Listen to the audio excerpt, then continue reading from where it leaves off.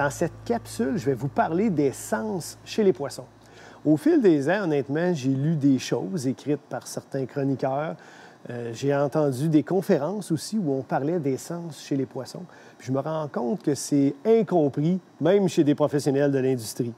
Donc j'aurais le goût de dire, on va vous donner l'heure juste par rapport au sens des poissons, puis de quelle façon ils s'en servent pour chasser.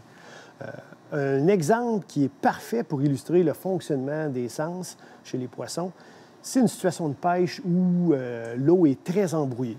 Imaginons que je suis sur le fleuve Saint-Laurent, je pêche euh, le doré, par exemple, puis il y a eu beaucoup de pluie dans les journées précédentes. L'eau s'est embrouillée. Si je descends un leurre sous la surface de l'eau, disons après 6 ou 10 pouces, je le perds de vue.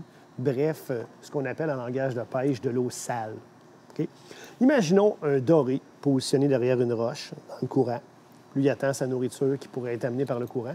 Puis moi, sans savoir que le doré est positionné là, euh, je passe peut-être à 100 pieds, 75 pieds de l'endroit où ce doré-là est positionné. C'est sûr que dans une eau embrouillée comme ça, il ne peut pas voir mon leurre. Hors de tout doute. Par contre, imaginons que je dérive, que la technique de pêche que j'ai choisie, c'est le marcheur de fond. Bien, je m'assure que mon marcheur de fond frotte le fond. Alors, on l'entend même ici. Hein? une broche qui frotte du gravier, des roches, le substrat dans le fond, ça fait du bruit. Le son voyage dans l'eau très, très bien.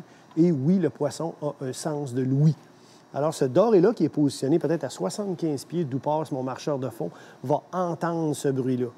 Donc, il va aller voir c'est quoi, hein? qu'est-ce qu'il y a dans son territoire, est-ce que c'est de la nourriture?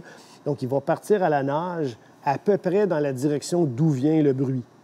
Quand il va s'approcher, Hein? On a un harnais derrière notre marcheur de fond, une cuillère qui tourne, ça émet des vibrations sous l'eau.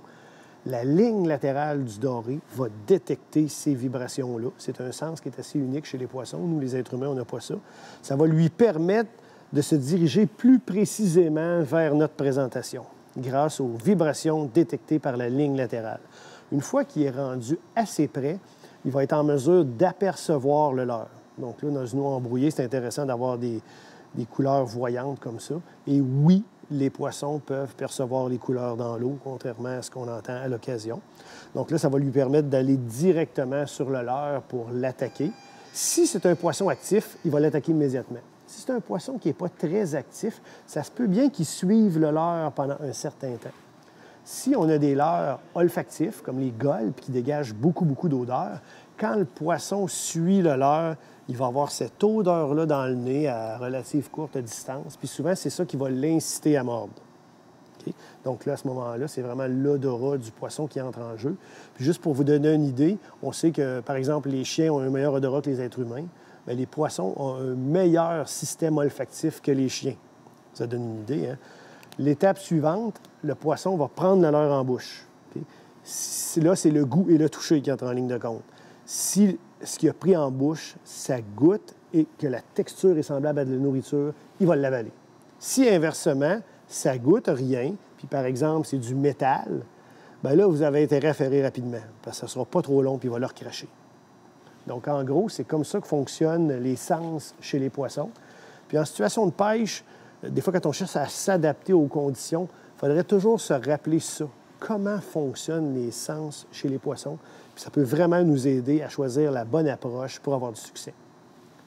Bonne pêche et amusez-vous bien. Hein?